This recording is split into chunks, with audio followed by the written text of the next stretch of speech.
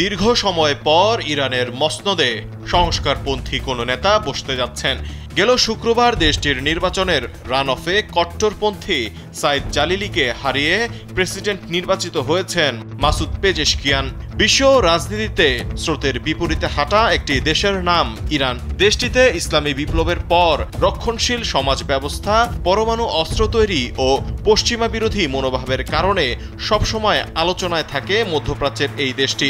তাছাড়া রাষ্ট্রের উচ্চ পর্যায়ে কট্টর নেতাদের আধিপত্য অনেক আগে থেকেই এমন অবস্থায় একজন সংস্কারপন্থী নেতার বিজয় অনেকটা অবাক করার মতোই। তাই নতুন এই প্রেসিডেন্টকে নিয়ে জানার আগ্রহ অনেকেরই। এক মিনিটে নগদ ইসলামিক অ্যাকাউন্ট খুলতে ডায়াল করুন, চার ওয়ান সিক্স সেভেন হ্যাশ ইরানের নবনির্বাচিত প্রেসিডেন্ট মাসুদ পেজেশকিয়ান উনিশশো চুয়ান্ন সালে জন্মগ্রহণ করেন। তিনি মূলত একজন হৃদরোগ বিশেষজ্ঞ। উনিশশো আশি সালে ইরাক ইরান যুদ্ধে চিকিৎসক ও যোদ্ধা হিসেবে সম্মুখভাগে কাজ করেছেন। উনসত্তর বয়সী এই চিকিৎসক। তাছাড়া দুই হাজার এক সাল থেকে দুই হাজার পাঁচ সাল পর্যন্ত ইরানের স্বাস্থ্যমন্ত্রীর দায়িত্ব পালন করেছেন তিনি।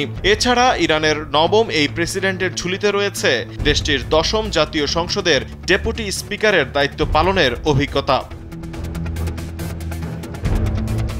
তবে পেজিশকিয়ানের নির্বাচনে অংশগ্রহণ এবারই প্রথম নয়।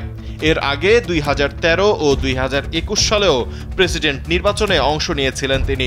তবে দুই হাজার তেরো সালে হাশেমি রাফসান জানিকে সমর্থন দিয়ে প্রার্থিতা বাতিল করেন এবং দুই হাজার একুশ সালে গার্ডিয়ান কাউন্সিল তার প্রার্থিতা বাতিল করে দেয়।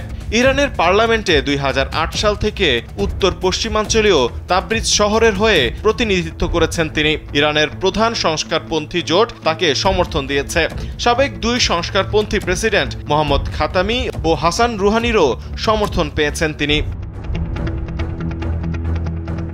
ব্যক্তি জীবনে পেজেশকিয়ানকে সর্বহারা বললে হয়তো ভুল হবে না।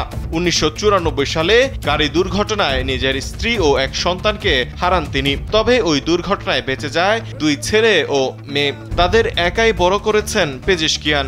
স্ত্রীর মৃত্যুর পর আর বিয়ে করেননি তিনি। পেজেশকিয়ানের বিজয়ে সংস্কারপন্থীরা আশার আলো দেখছেন। বিশ্লেষকরা মনে করছেন, মাসুদ পেজেশকিয়ান এমন একজন ব্যক্তি যাকে বিশ্বশক্তি স্বাগত জানাবে। তাদের আশা থাকবে, পারমাণবিক কার্যক্রম নিয়ে ইরানের সঙ্গে পশ্চিমাদের যে উত্তেজনা চলছে, সেটির সমাধানে তিনি শান্তিপূর্ণ পন্থা অবলম্বন করবেন। তৌহিদুল ইসলাম তারেক, কালবেলা।